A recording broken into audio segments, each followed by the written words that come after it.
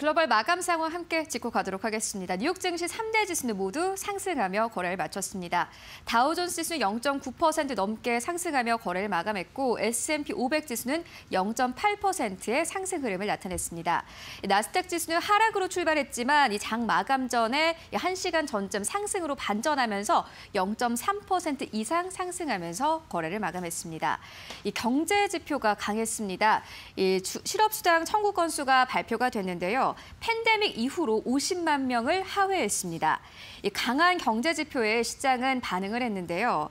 이에 대해서 오늘 CNBC의 시황 마감 기사에서는 이 경제 회복이 사람들이 예상한 것보다 더 빠른 속도로 이루어지고 있고 이제는 연준의 기준금리나 가치주 쪽으로 이, 음, 이 가치주 쪽의 움직임을 좀 주시를 해야 한다라고 밝혔습니다.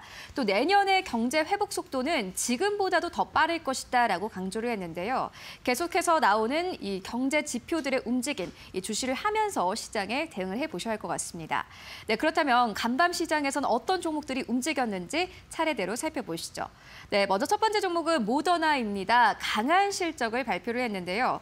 일단 매출 같은 경우에는 코로나19 백신만으로 우리 돈으로 환산을 했을 때 2조 원 넘게 매출이 잡혔다고 합니다. EPS도 역시나 마찬가지로 시장 컨센서스를 상회했는데요. 이 시장 컨센서스는 2.39달러였는데 EPS 가 2.84달러를 기록을 했습니다. 또 더불어서 백신 생산량을 늘려서 올해 10억 도스의 백신을 생산할 예정이다라는 뉴스까지 나왔습니다. 하지만 최근에 바이든 대통령이 이 백신에 대한 지재권 면제를 지지한다라는 뉴스가 나오면서 간밤 시장에서는 백신 관련 종목들이 일제히 하락으로 거래를 마쳤습니다. 모더나도 마찬가지로 1.4% 넘게 하락하면서 160달러 선에서 거래를 마감했습니다. 네, 이어서 두 번째 종목 만나보도록 하겠습니다. 애쉬인데요. 호실적을 발표했습니다. 하지만 이 사용자 증가 둔화 우려에 14% 넘게 급락하면서 거래를 마감했습니다. 이 애쉬라는 종목은요, 이 회사들 회사가 셀러들이 수제품을 올려서 디지털 판매를 하고 있는 기업입니다. 이 코로나19 대유행 당시에 수공예 마스크의 거래가 급증한 바 있는데요.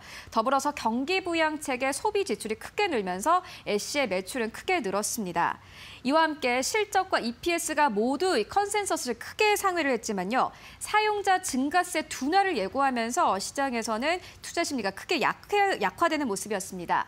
더불어서 목표 주가도 240달러 선에서 200달러 선까지 낮춰지면서 엣시는 두 자릿수의 급락세를 보이면서 157달러 선에서 거래를 마감했습니다.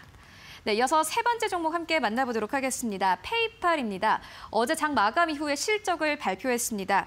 일단 호실적을 발표했는데 매출과 EPS가 모두 컨센서스를 상회하면서 주가가 상승 흐름을 보였습니다.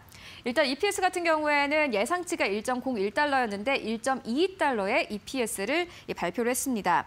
그리고 댄 슐머 이 CEO가 이 어닝콜에서 핵심 동력으로 암호화폐를 지목을 했고요. 더불어서 곧 출시될 이 디지털 월릿, 이 디지털 지갑의 제품을 적극 홍보하면서 시장에서는 기대감이 높아지는 분위기였습니다.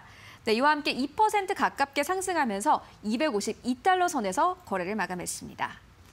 네, 이어서 네 번째 종목 만나보도록 하겠습니다. 장 마감 이후에 실적을 내놓은 종목인데요. 비욘드 미트입니다. 3분기 연속 적자 흐름을 나타내고 있습니다. 이와 함께 애프터마켓에서 7% 넘는 급락세를 나타내고 있는 상황인데 일단 EPS 같은 경우에는 주당 순 손실이 예상치는 19센트였는데 이보다도 더 큰 손실을 나타냈습니다. 주당 42센트의 손실을 나타냈고요. 매출은 1억 820만 달러로 집계가 됐습니다. 이 고객들이 더 이상 고기의 대용품을 비축하지 않는다라고 밝히면서 3분기 연속 적자 흐름을 나타냈습니다. 또 미국의 소매 판매는 27% 넘게 늘어났지만 간소화된 메뉴와 이 식당 방문이 줄어들면서 매출이 줄어들었다라고 밝혔는데요. 또 코로나19로 인한 불확실성을 언급하면서 연간 가이던스를 제공하지 않았습니다. 이와 함께 애프터마켓에서 7% 넘는 급락세를 나타내기도 했습니다.